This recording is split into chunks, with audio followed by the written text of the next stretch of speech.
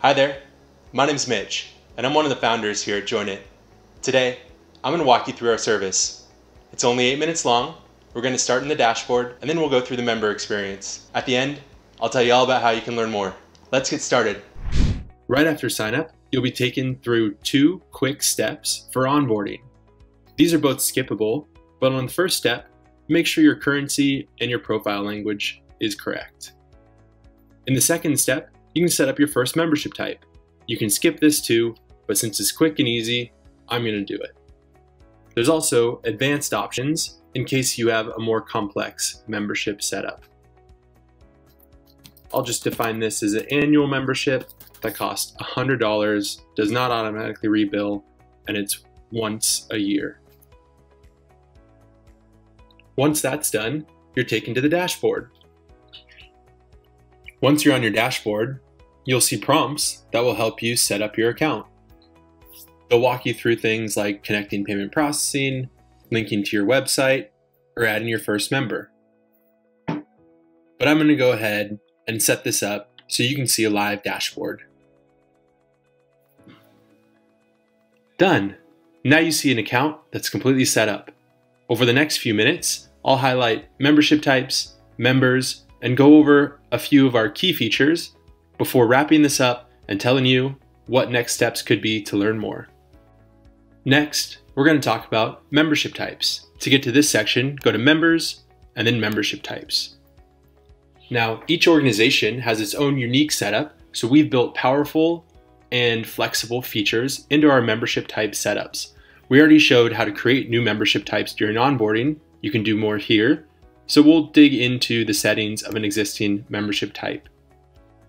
Now here, you'll see all the options for setting up your membership type. You can edit the pricing and the duration so that if it rebills monthly or it's a one-time payment every two years, you can set that up here.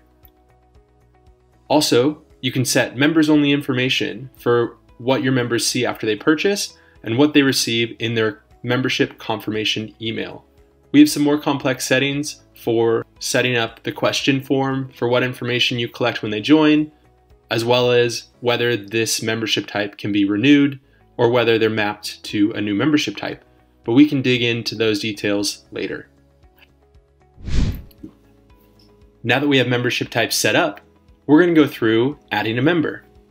Now there's a few ways that members can join your organization. Of course, a member can join themselves through your profile, or you can add them through your admin dashboard. That's what we're going to go over right now. Navigating to add a member brings up this form. There's a lot of options here for selecting the membership type, the quantity of members you want to add, and then whether you're including an online payment, an offline payment, or no payment at all. We'll enter this information really quick.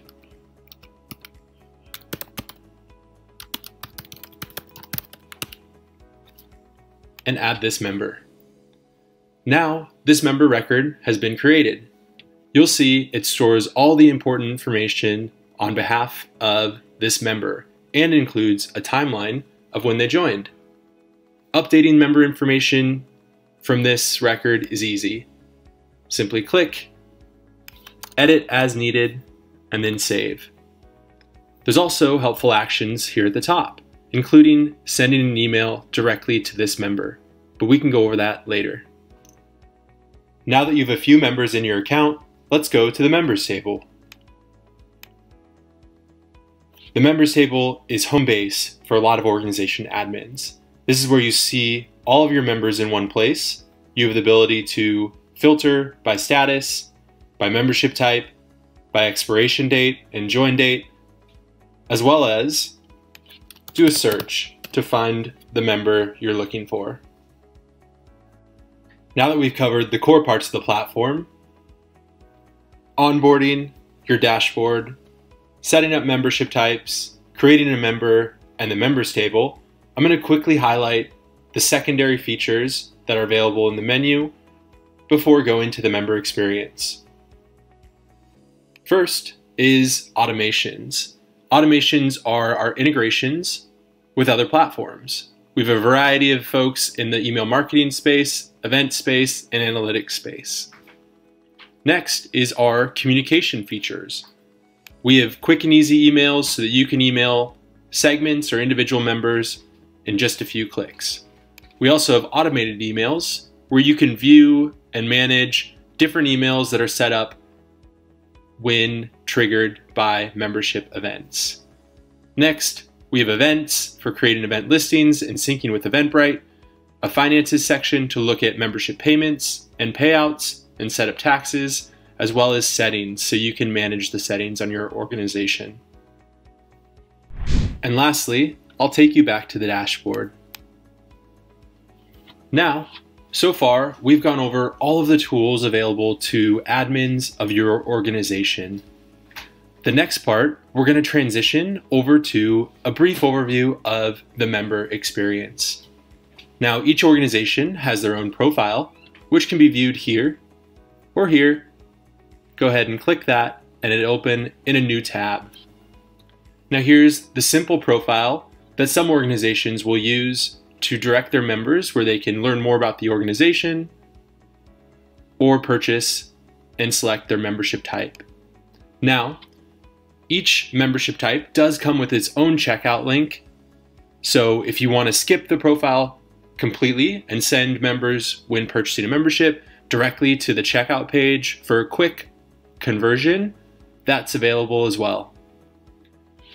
Now, if I wanted to join this organization, it's quick and easy. I'd enter the information needed, as well as my payment details, and click Join. As soon as it's processed, it takes you to the confirmation page, which org admins can customize with its own message, links, or videos.